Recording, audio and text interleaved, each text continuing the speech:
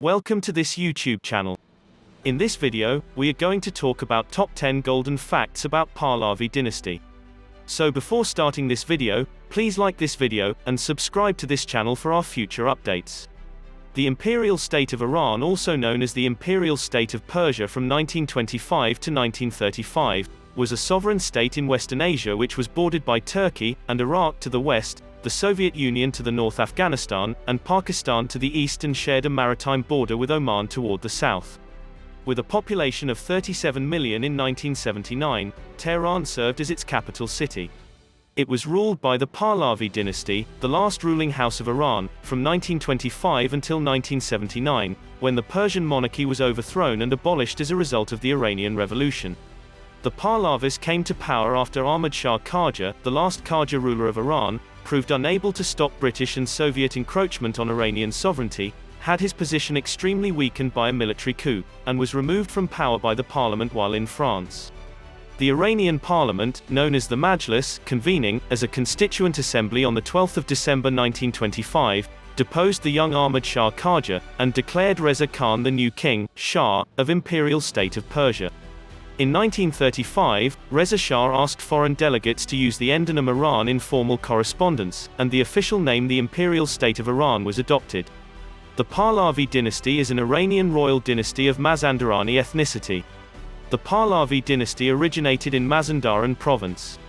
In 1878 Reza Shah Pahlavi was born at the village of Alasht in Savadkuh County, Mazandaran province. His parents were Abbas Ali Khan and Noushafarin Ayromlou. His mother was a Muslim immigrant from Georgia, then part of the Russian Empire, whose family had emigrated to mainland Persia, after Persia was forced to cede all of its territories in the Caucasus, following the Russo-Persian Wars several decades prior to Reza Shah's birth.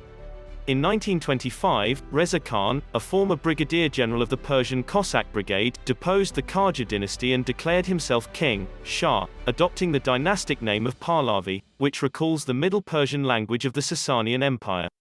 By the mid-1930s, Reza Shah's strong secular rule caused dissatisfaction among some groups, particularly the clergy, who opposed his reforms, but the middle and upper middle class of Iran liked what Reza Shah did. Here are some progresses of Iran during Pahlavi dynasty. Number 10. Rise of Reza Khan.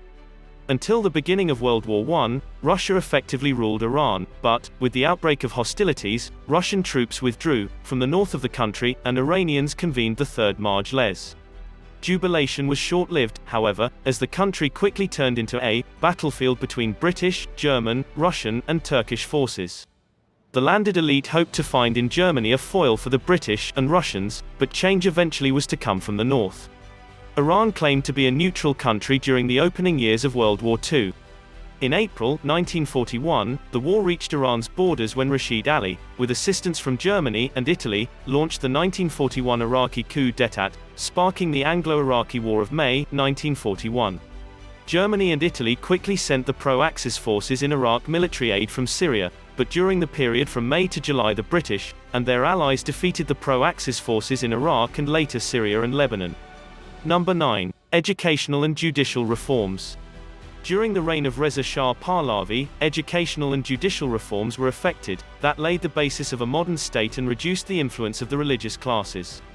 A wide range of legal affairs that had previously been the purview of Shia religious courts were, now either administered by secular courts or overseen by state bureaucracies, and, as a result, the status of women improved.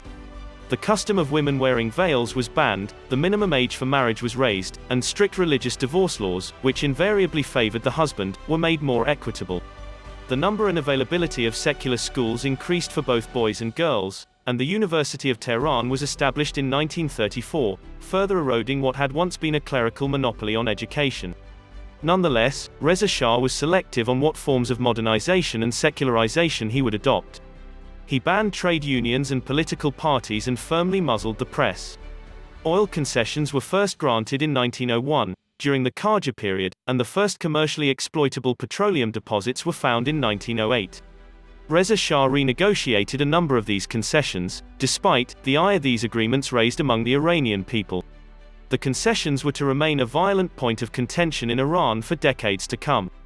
At the end of the war, Soviet troops remained in Iran, and established two puppet states in northwestern Iran, namely the People's Government of Azerbaijan and the Republic of Mahabad.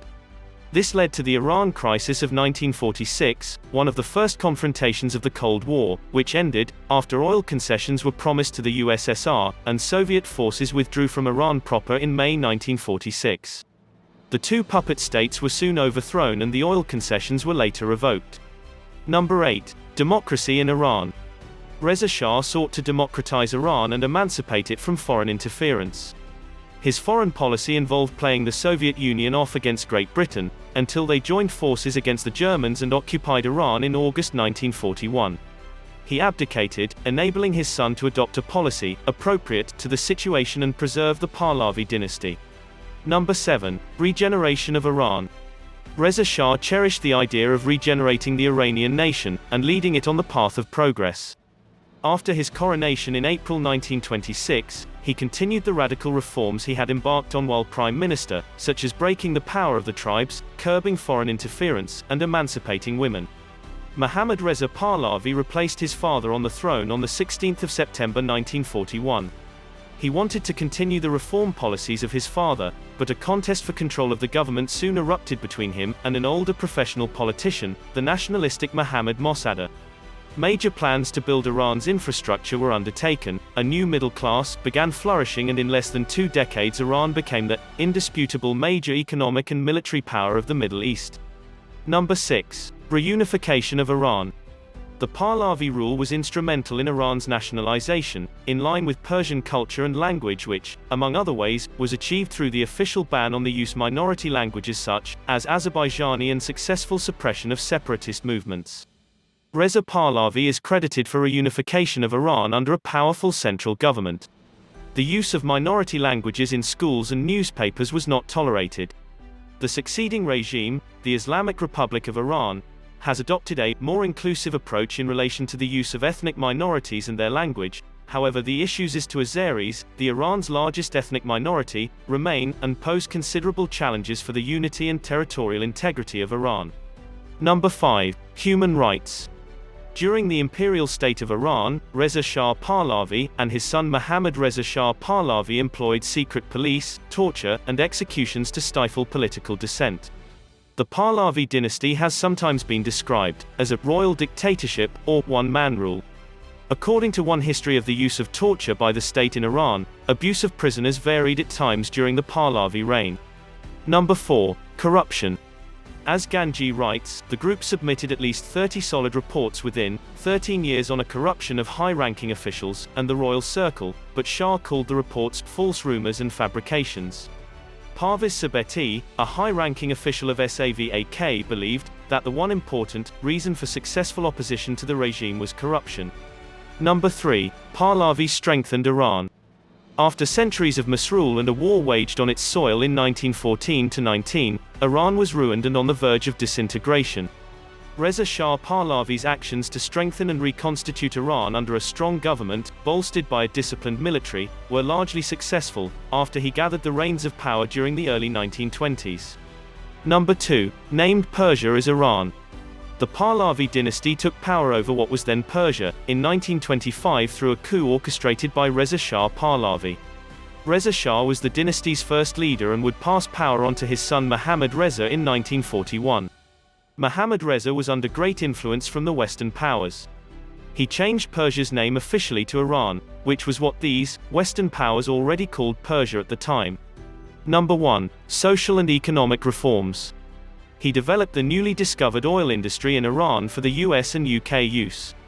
With all the new income from oil the Iranian government greatly increased their infrastructure in education and welfare.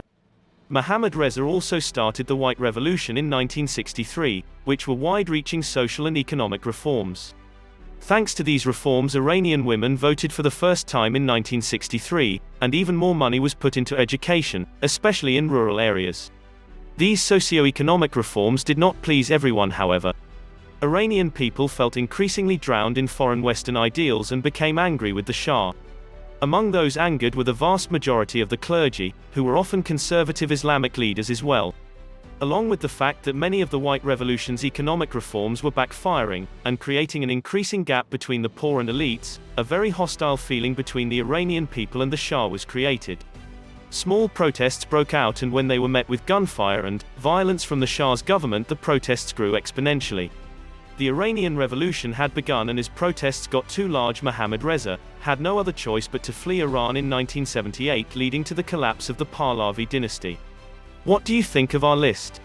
Which of the facts about Pahlavi dynasty shocked you the most? Let me know in the comment section below. If you enjoyed this video and want to hear from me again, be sure to hit that subscribe button before you go.